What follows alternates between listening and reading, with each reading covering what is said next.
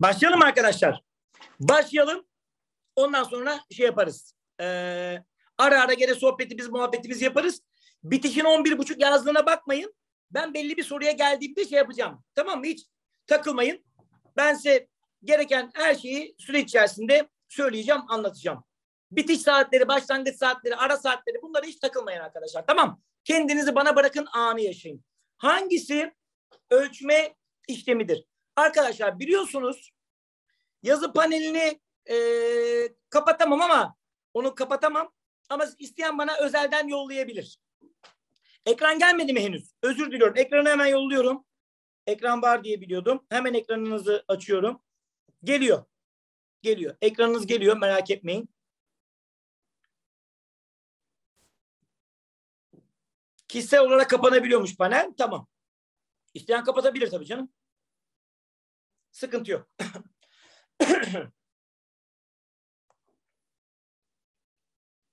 evet. Hangisi bir ölçme işlemidir? Arkadaşlar biliyorsunuz ki bir özelliği gözlemleyip gözlem sonuçlarını sayı sıfat sembollerle ifade ettiğimiz zaman bu sürecin adına ölçme diyoruz. Ölçmede asla bir karara, bir yargıya varmıyoruz arkadaşlar değil mi? Bir karara, bir yargıya ulaşılmıyor. Mevcut durum betimleniyor. Şimdi bakalım. Türkçe testinden başarılı sayılmak için 30 sorudan en az onu doğru cevaplanmalıdır. Bakın şimdi başarılı sayılmak bir karardır. Başarılı sayıldın, başarısız sayıldın, seçildin, seçilemedin bir karardır. Bu soruyu okuduğunuzda bir kararın nasıl verileceğini, kararın şartını söylüyor. Yani başarılı sayılmanın şartı. Kararlarımızın şartına biz ölçüt deriz. A seçeneğindeki ifade bir ölçüt ifadesidir sevgili arkadaşlar. Mustafa hız sınırını aştığı için trafik cezası aldı. Bakın bu sefer ceza alınmış. Yani karar verilmiş. Karar verildiği zaman bunun adı ne olur?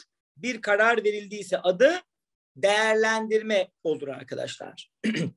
Defne'nin Türkçe testinde 20 doğrusu var. Ha, Defne'nin doğrularını saydım ve saydığım olduğu gibi ifade ettim. O zaman bu evet bir ölçme işlemidir. Bakın sayıyla doğru Türkçe testini gözlemledim. Sayıyla ifade ettim. Bu bir ölçmedir.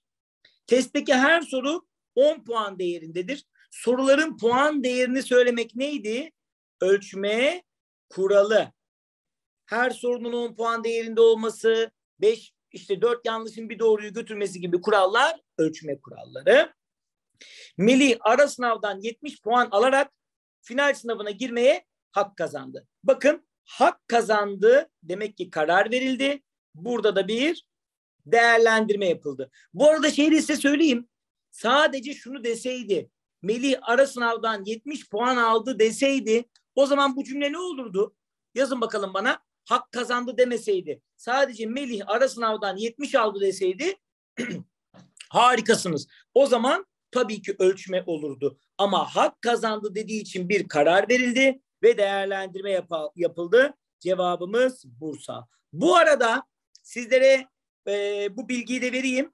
Ekranda çözdüğüm halini, soruların çözülü halini de a, e, cevap Ceyhan ölçmeyi sormuştu. Soruların çözülü halini de sizlere yollayacağım. tamam mı? Bu yazdığım halini, el yazısı halinin PDF halinde ben size vereceğim. Yani benim yazdıklarımın aynılarını yazmak için kasmanıza gerek yok. Rahat olun, relax olun arkadaşlar. Bizde her şey var. Hiç merak etmeyin. Her şey. Yani teknoloji anlamında bir yerde bir şey varsa ben onu mutlaka size sizin emrinize sunacağım arkadaşlar. Bunların aynıları size ulaşacak. Evet. Hangisi bir değerlendirme işlemidir? Güzel. Az önceki sorudan ne anladık? O sorunun çözümünden bile şunu anladık.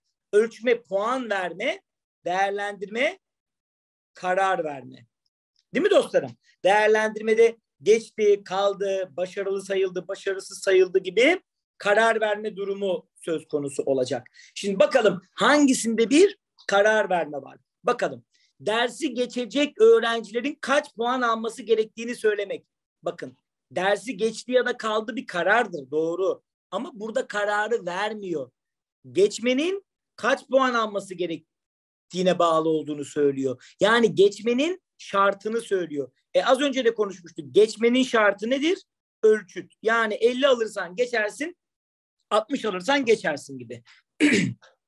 Öğrencinin sözlü sınavdaki telaffuz hatalarını saymak, sayısını hesaplamak. 10 hata yaptı, 20 hata yaptı. Yani sayıyla ifade etmek bu bir ölçmedir. Değil mi dostlarım? Öğrencinin performans görevlerini puanlamak, puan vermek.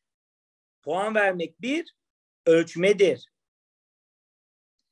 Maddelerin her birinin kaç puan olacağı. bir önceki soruda da buna benzer konuşmuştuk. Her sorunun 10 puan olması, 5 puan olması neydi? Ölçmenin kuralıydı. Bu bir ölçme kuralıdır.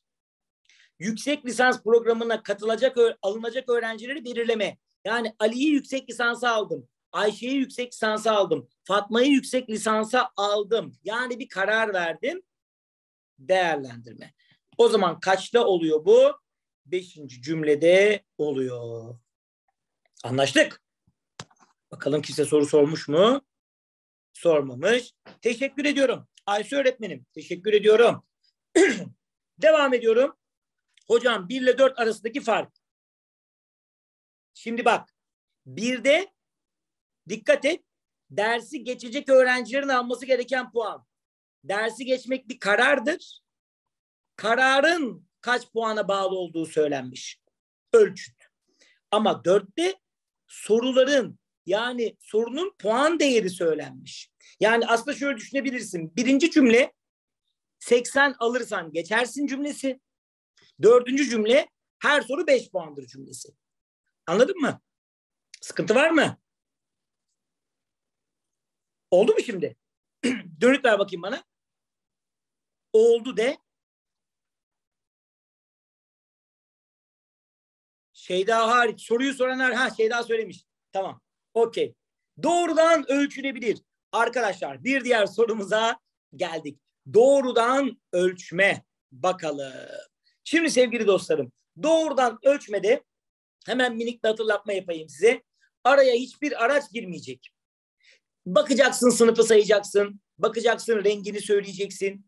Direkt bir gözlem yapacaksın. Ya da ya da uzunluğu uzunlukla kütleyi kütleyle falan ölçeceksin. Aynı cins araç olacak. Dolaylı ölçmede farklı cins bir araç olacak. Mesela ilgiyi, tutumu, kaygıyı, zekayı direkt gözlemleyemeyeceğiz. Arkadaşlar gözlemlemek mümkün olmayacak. Başka araçlar, testler kullanacağız. Ya da sıcaklığı civanın yükselmesine bakarak ölçeceğiz. Türetilmiş ölçmede de formül kullanacağız, hesap yapacağız. Şimdi bakın size burada taktiği vereyim. Bu sorunun çözümünü birazcık uzatmış olalım. Ama ÖSYM sorularının hepsini çözdüren taktiği buldum ben arkadaşlar. bugüne kadar bugüne kadar ÖSYM'deki doğrudan dolaylı türetilmiş soruların hepsini çözdürüyor bu taktik. Hepsini çözdürdü. Bir, dostlarım herhangi bir şeyi sayma gördüğünüz zaman herhangi bir şeyi sayma olayını gördüğünüz zaman nasıl ölçme diyorsunuz? Sayma, sınıfı saymak, ağaçları saymak, işte kalemleri saymak, soruları saymak doğrudan diyorsunuz. Peki test kullanmanız, puan vermeniz mecbursa ilgi, tutum, kaygı, zeka teste muhtaçsak buna ne diyoruz? Dolaylı. Çok güzel. Formül kullanıyorsak, hesaplama yapıyorsak formül, hesaplama yapıyorsak türetilmiş. Bu üçünde problemim var benim diyen var mı? Bu kadar bak. Bir şeyin sayıldığını gördün doğrudan. Test dolaylı formül türetilmiş. ÖSYM'nin bütün soruları buralardan çıktı. Bu taktiği şimdilik şöyle vermiş olalım. Bu soruda bunu verdim. Bir dahakileri de uzatmayız. Burada duymuş olun. Evet, zeka düzeyi. Bir öğrencinin zeka düzeyini ölçmek için test kullanmak gerekir. Teste muhtacım dolaylı ölçmedir arkadaşlar. Hava sıcaklığının termometre ile ölçülmesi. Havanın sıcaklığı Cıvanın yükselmesine başka bir değişkene bakılarak ölçüldüğü için yine dolaylı ölçmedir. Bir ilin tarımsal nüfus yoğunluğu, tarımsal nüfus yoğunluğunda bir formül mü vardır? Evet değil mi? Ee, tam bilemiyorum formülün ne olduğunu ama galiba tarımda çalışan kişileri toplam tarım alanına mı bölüyorduk? Öyle bir şeydi. Formülü var işte ne olduğu önemli değil. Türetilmiş. Derse katılan kişi sayısı. Bak direkt ne yapılır? Kişi sayısı direkt sayılır. O zaman doğrudan ölçmedir. Sürat hesaplama. Bakın hesaplama bir formül olayı var. O zaman bu da türetilmiş ölçmedir. Geçmiş olsun. Bakın bugün ders bittikten sonra acaba hocanın taktik gerçekten tutuyor mu diye çıkmış soruların hepsine bakın göreceksiniz. Hani ÖSYM'nin bugüne kadarki bütün soruları böyle ki ben araya zaten ben araya zaten çıkmış soruları koydum. Sorularımızın içinde çıkmış sorular da var arkadaşlar. Ben öyle bir bir olay yaptım yani. Evet. Dolaylı ölçmedir. Şimdi Ayşe'nin İlker'den daha çok kitabı vardır. Baktım, gördüm, gözlemledim. Doğrudan ölçme değil mi? Saymaya dayalı. Mustafa 30 soruluk testten 13'üne doğru cevap veremedi. Saymaya dayalı saydım. Doğrudan ölçme. Ali her öğünde 4 bardak su içer. Bu da saymaya dayalı doğrudan ölçme. Turgay ödevini hazırlarken 3 kitaptan yararlandı. Saymaya dayalı doğrudan ölçme. Furkan sosyal bilgiler sınavından 70 puan aldı. Test var değil mi? Test. Test kullanmayı gördüğümüzde dolaylı ölçmeyi yapıştırıyorduk. Tamamdır. Evet.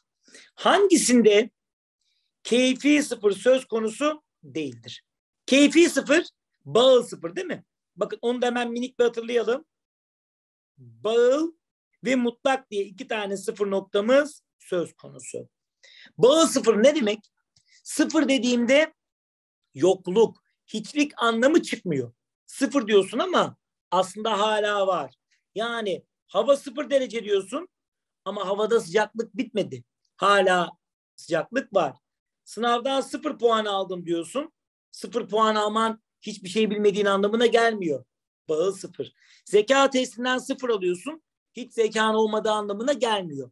Hala var. Bak bunlar bağıldı. Hatırladınız. Ya da saat. Saate sıfır derseniz saat bitmez. Gece yarısı olur. Ama mutlak sıfır öyle değil. Bu gerçek sıfırdır. Yani sıfır dediğinde biter, tükenir, yok olur. Örneğin sınıfta sıfır kişi var dersin. Sıfır kişi yokluk, hiçlik, tükenmişlik anlamına gelir. Bugün sıfır soru çözdüm dersin. Hiç soru çözmediğin anlamına gelir. Sıradaki örnek bana gelsin. Cebimde sıfır TL var derim. Cebimdeki para sıfırdır.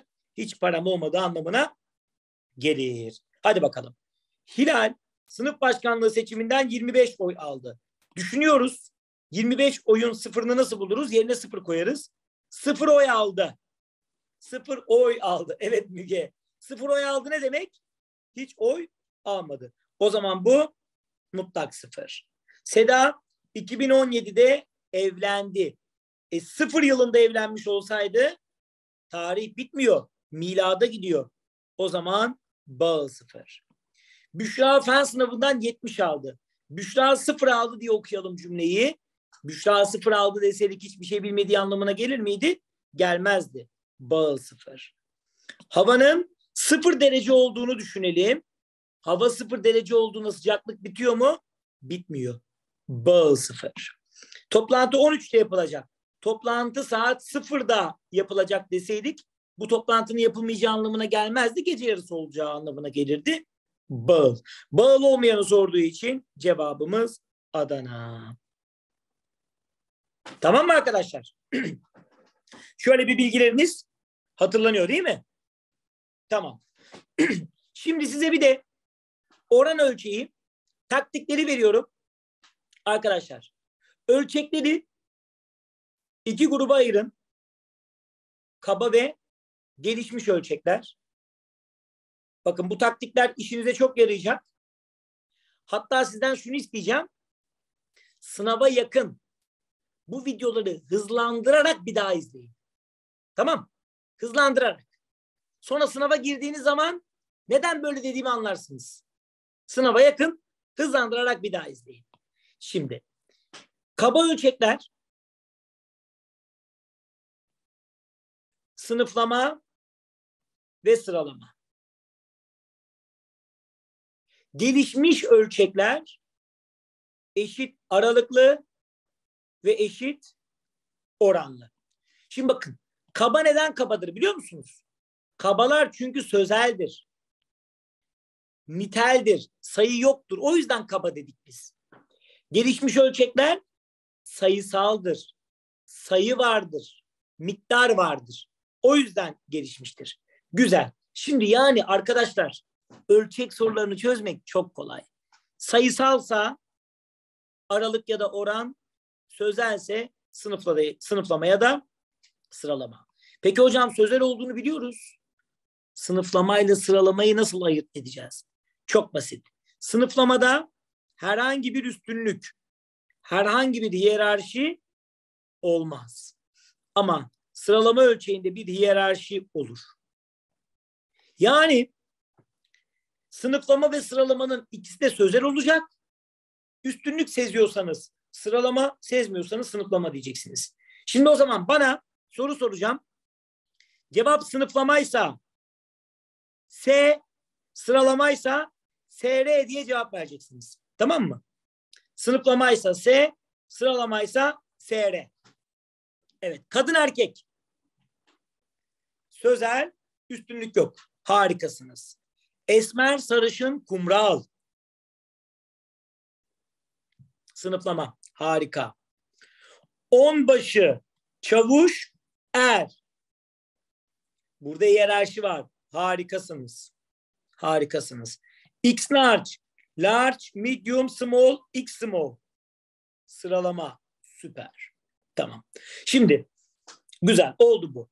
Gelişmişler sayısaldı. Bunları ayırmak da çok basit. Hemen ayıralım.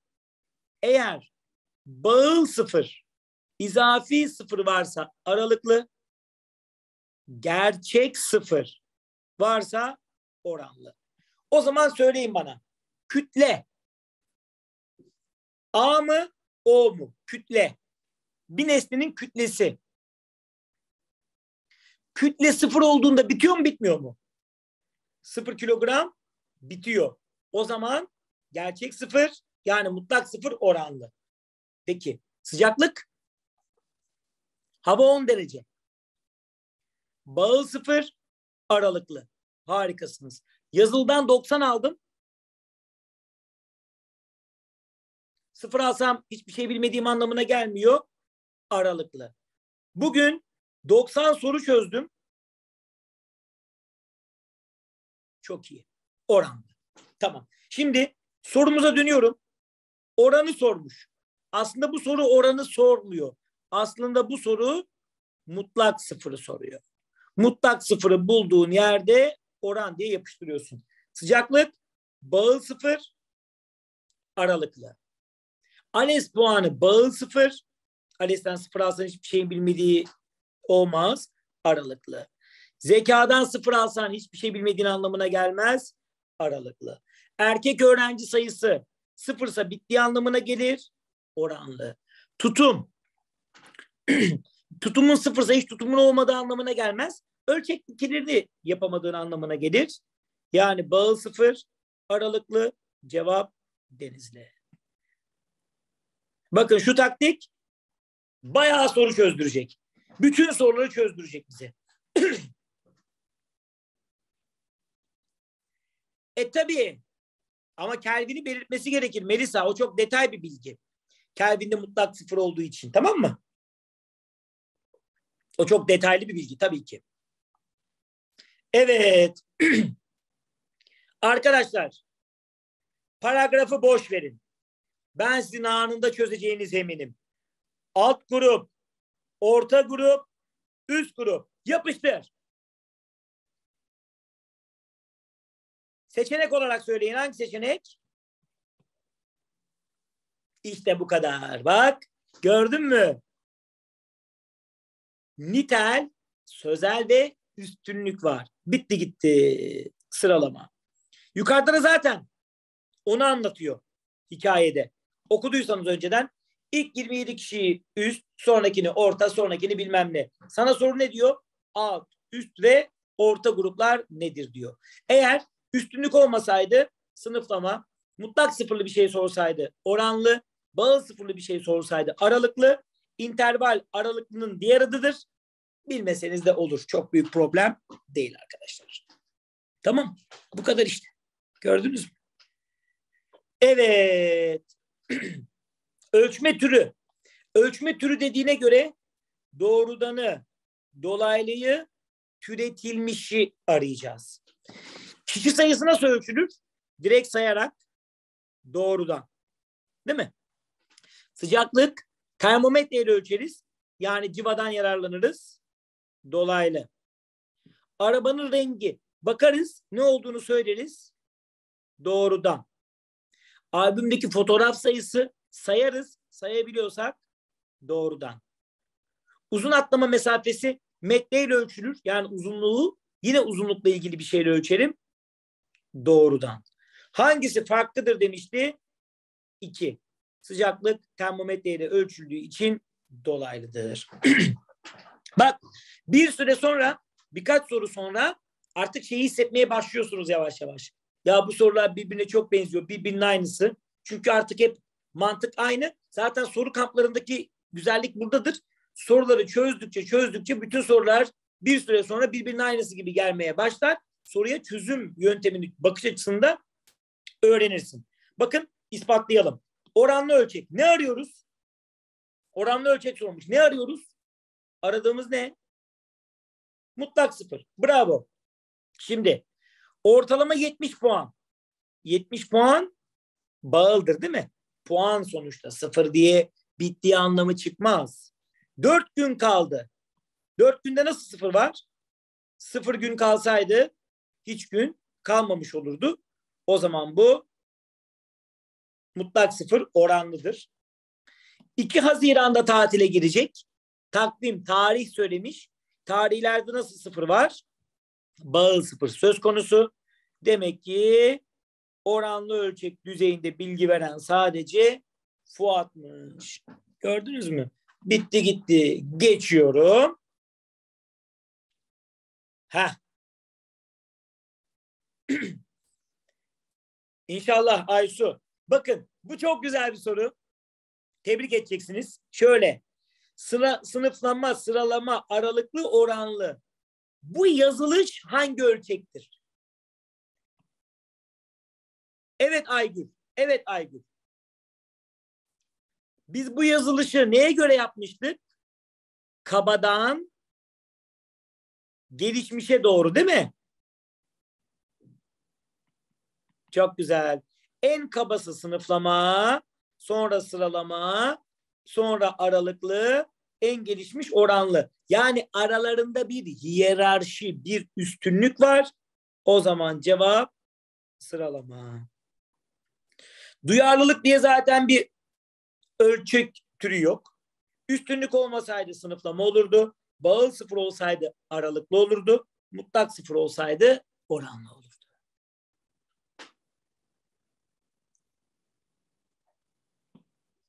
Bak hanimiş. Hanimiş. Geçen yıl ne sormuşlar? Bakın bu sefer bağıl sıfır demiyor soru. Soru ne diyor? Bağıl ölçüt. Bağıl ölçüt gruba bağlı ölçüttür. Yani şöyledir. Kaç puan alacağını önceden bilmezsin. Bir hatırlayalım. Sonra sorumuz çözeriz. Mesela şimdi kaç puan almanı, kaç soru çözmeni gerektiğini önceden biliyorsan bu mutlak ölçüt. Net, mutlak. Gruba bağlı değişiyorsa da bağlı ölçüt. Mesela şöyle bir örnek vereyim. 50 alan geçer. Önceden belli mi değil mi? Kaçılıp geçmen gerektiği belli. O zaman 50 alan geçer. Mutlak ölçüt mü bağlı ölçüt mü? 50 alan geçer. Mutlak. Önceden belli. Peki ortalamayı aşan geçer dersem ne olur? Bağıl. Çünkü ortalamanın kaç olacağı belli değil. Çok güzel. Peki ilk beşe giren geçer. Bağıl. Çünkü ilk beşe girmek için kaç almam gerektiğini bilmiyorum. 40 soru çözen geçer. Güzel. Yani harikasınız mutlak. Zihninize şunu oturttunuz değil mi? Önceden kaç puan kaç soru olduğu biliniyorsa mutlak, bilinmiyorsa bağıl. Şimdi geçen yılın sorusuna bakalım.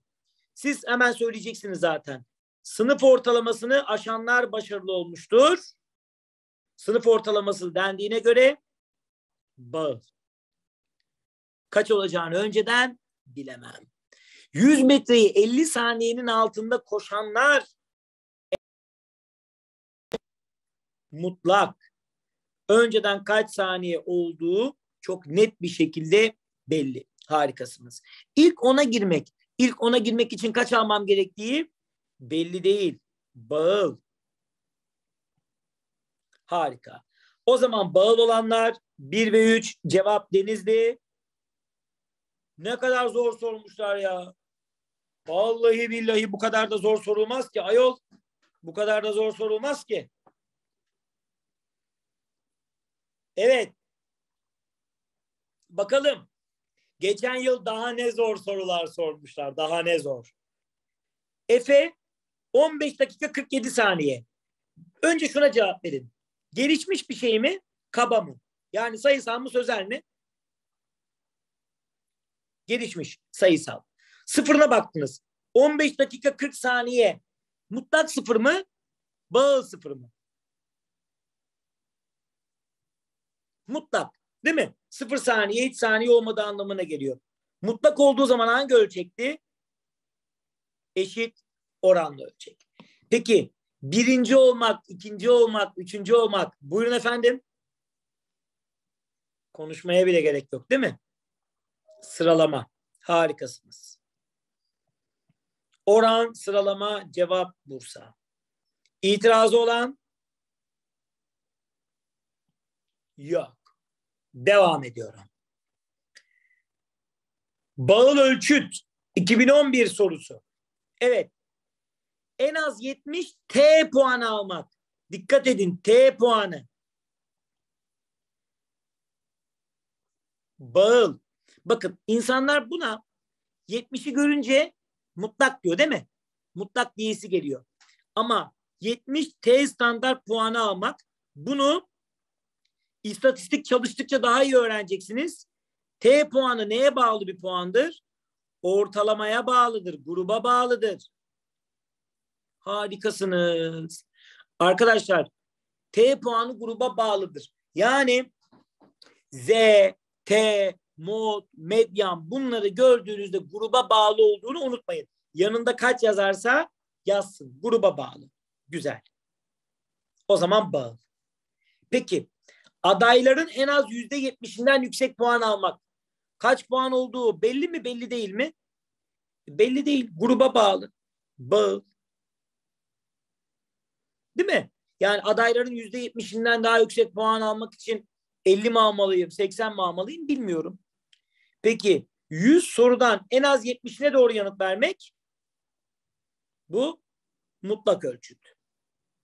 Çünkü önceden kaç soru olduğu belli. Bağıl ölçüt olanlar sorulduğuna göre cevap 1 ve 2.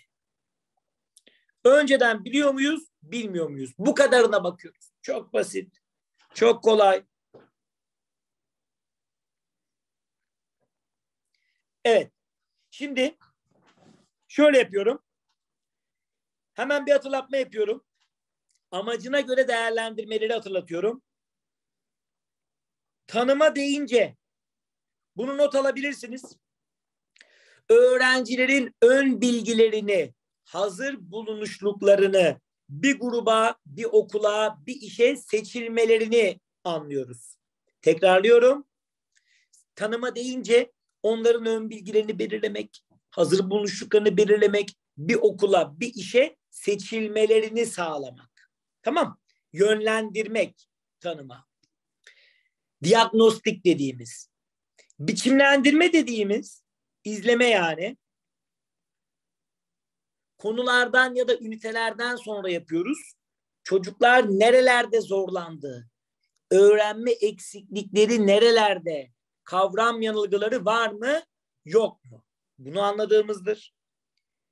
Bir de değer biçme, düzey belirleme dediğimiz var. Bu da artık yolun sonu. Çocuklara not verdiğimiz yazılılar, vizeler, finaller, not için yaptıklarımız. Yani nihai karar. Kazanımlara ulaştılar mı? Ulaşmadılar mı? Ulaştılarsa geçti, ulaşamadılarsa kaldı dediğimizdir. O zaman maçın başlama düdüğü tanıma. Takımlar bakar. Hazır mıyız değil miyiz? Maçın devre arası düdüğü biçimlendirme. Devre arasında ne yapar takımlar? Eksikliklerini gidermeye çalışırlar. Maçın bitiş düdüğü değer biçme. Geçtiğin, kaldığın, kazandığın, kaybettiğin belli olur. Bir belge verirler, bir sertifika verirler, süreci bitirirler. Şimdi soruyu okuyorum. Siz hemen anlayacaksınız zaten amacını. Öğrencilerin bir konudaki öğrenme eksikliklerini açığa çıkartmak için. Öğretmenin amacı nedir? Tanıma mı? T mi? Biçimlendirme mi? B mi? Değer biçme mi? D mi? Öğrenme eksiği. Biçimlendirme değil mi? Bak konu demiş. Biçimlendirme. Konuyu anlatmış eksiğine bakacak. Öğrencilerine test uyguluyor. Bazı maddelerin çok zor olduğunu görüyor. Ve her öğrencinin maddelerin yarısından fazlasını maddelerin yarısından fazlasını yanlış yanıtladığını görünce tekrar ediyor. Madde ne demek? Soru. Soruların yarısı önceden kaç soruya denk geldiği belli midir değil midir? Soruların yarısının kaç soru olduğu bellidir. Yani nasıl ölçüttür? Önceden belli olan ölçüt neydi? Mutlak. İşte bitti gitti. Biçimlendirme mutlak cevap Bursa. Hocam, efendim canım, nasıl tanımı olurdu? Konudan önce ön bilgileri belirlemek deseydi tanımı olurdu. Hocam, efendim Gülo söyle nasıl değer biçimi olurdu? Nasıl olurdu? Çocukların artık bir karne alması, vize, final deseydi değer biçimi olurdu. Hocam, mutlak ölçüt değil de bağlı ölçüt nasıl olurdu? ortalamaya bağlı deseydi, sınıfın yüzde şu kadarına bağlı deseydi, ilk üç, ilk beş deseydi de bağlı olurdu. Bu kadar. Evet. Yusuf. E, oluyor o kadar Yusuf. Şöyle bir süre sonra nerede insan aklının nerede takılacağını anlıyorsun. Çünkü anlata anlata o sorular hep aynı geliyor yani. Bakın az öncekinin çıkmış soru olduğunu söylemedim değil mi size? Çünkü çıkmış soru deseydim arada böyle saklıyorum çıkmış soruları. Çıkmış soruydu bu ha.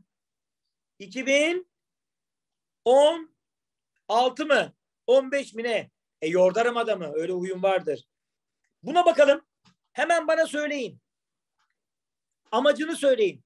Tanıma T, biçimlendirme B, değer biçme D mesleki yönelim envanteri, yönelim, yöneltme kullanarak rehberlik, tanıma. Harika. Devam ediyoruz. Öğrencilerin başarılı olup olmadığını vizeyle ölçmek. Vize. Vize. Değer biçme. Not var değil mi?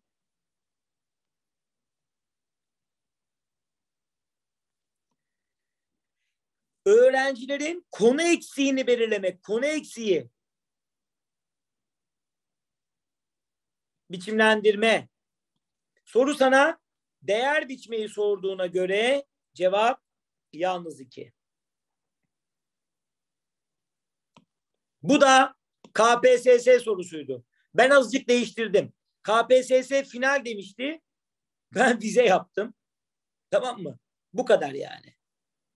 Bu kadar. Değişim de yapmadım yani doğru dürüst. Bir tek bunu e, finalde vize yaptım. Hatta vize daha zor olmuş oldu. Konu eksiğini, öğrenme eksiği demişti. Ben de konu eksiği dedim. Gördün mü?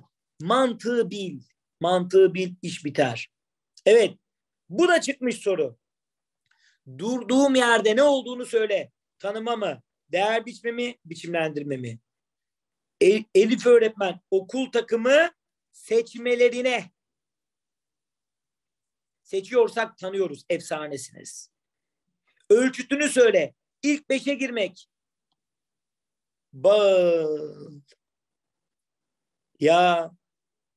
Peki çıkmış sorular da birbirinin aynısı değil mi aslında? Ya aynısı. Onu bilemem Aysu. İngilizceciler biraz başka yapabiliyorlar. Ben onu bilmem. O İngilizce ÖABT hocan ne diyorsa onu yap. Ama ölçmede benim dediğim yap. Tamam mı? Eğitim bilimleri de benim sözüm geçer. Benim dediğin gibi çöz. Ama ÖABT'niz çeviri bir dil olduğu için başka bir şey olabilir. Ona bir şey demem İngilizce'de. Bu arada 20 geç ara vereceğiz 6 dakika sonra. Anladın değil mi demek istediğimi? Hani mutlak ölçütle bağıl ölçütü bir daha açıklar mıyız? Önceden kaç puan olduğu belli ise mutlak ölçüt, kaç puan olduğu belli değilse bağıl ölçüt.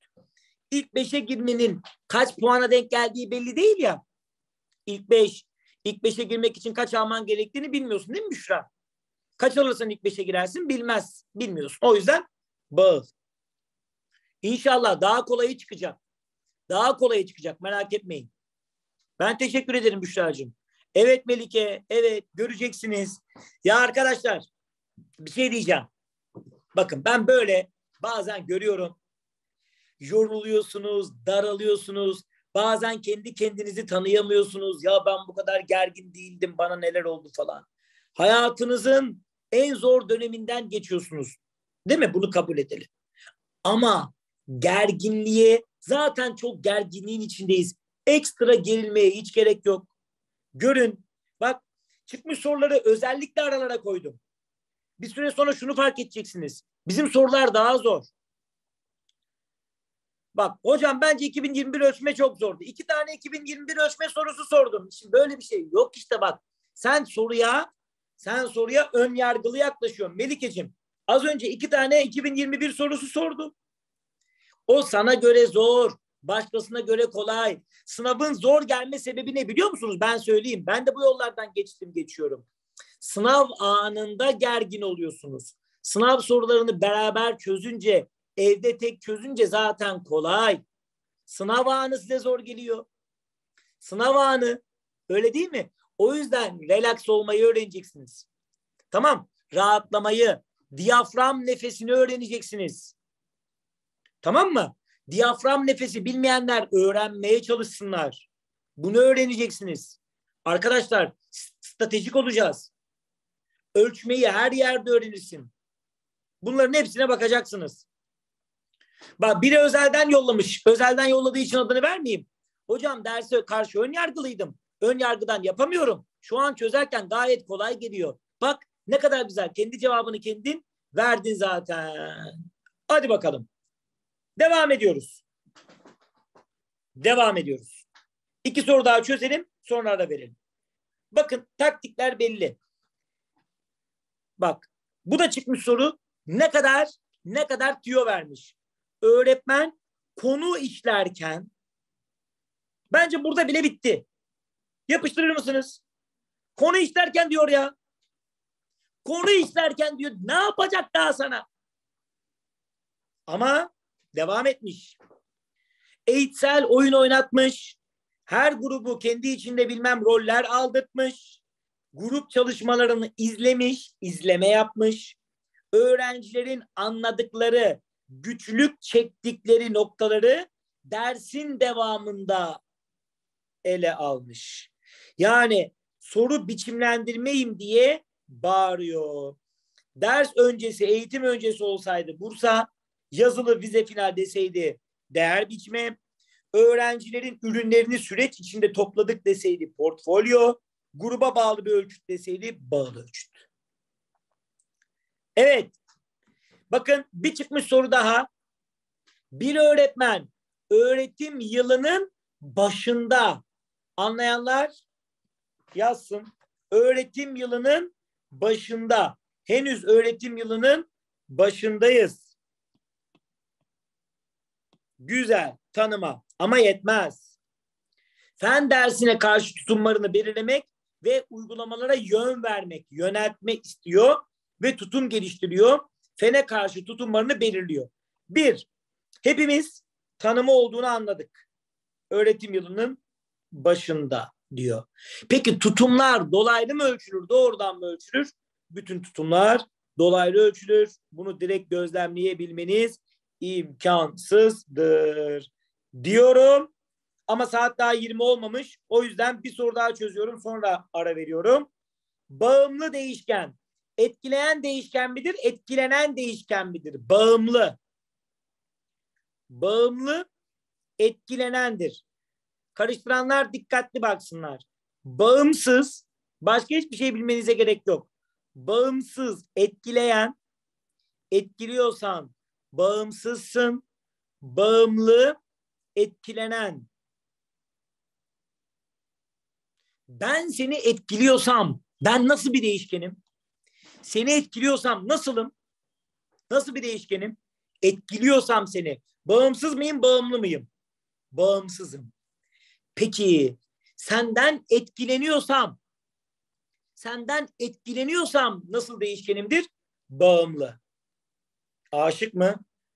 O zaman arkadaşlar Allah hepinize bağımlı değişkeni olduğunuz kişinin de sizi bağımsız değişken olarak görmesini nasip etsin.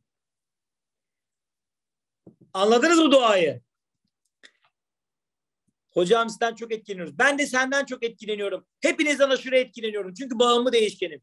Duayı anlamadıysanız bir daha edeyim. Bağımlı değişkeni olduğunuz kişinin sizi bağımsız değişken olarak görmesini, sizin için bağımsız, kendisi için bağımlı olmasını nasip etsin. Yani o da sizden etkilensin. Beş dakika sarf ettim. Ee, akademik dua ederim ben. Ben dua ettim mi akademik dua ederim. Dümdüz dua etmem. O kadar okul okuduk, o kadar şey iş güç yaptık, bilmem neler yaptık. Öyle dümdüz dua etmem. Akademik dua ederim. Duayı anlamak için bile okumuş olman gerekiyor. Ölçme bilmeyen anlayamaz benim duamı. Kandil günü duaları. evet. Bakalım. Fen bilgisi öğretiminde performans değerlendirme yaklaşımını kullanmanın öğrencilerin bilimsel yöntem süreç becerilerine etkisi. Arkadaşlar burada etkilenen bilimsel yöntem süreç becerileri değil mi? Etkilenen. Değil mi? Cümlede anlam. Oku cümleyi. Etkilenen şey bilimsel yöntem süreç becerileri. Peki bilimsel yöntem süreç becerilerini etkileyen ne?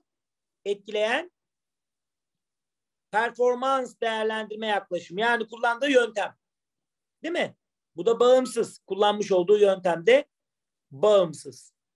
Soru bana neyi sormuş? Bağımlıyı. O zaman cevap Adana. Bitti gitti. Anlaştık. Sorusu olan yok. Buçukta görüşüyoruz.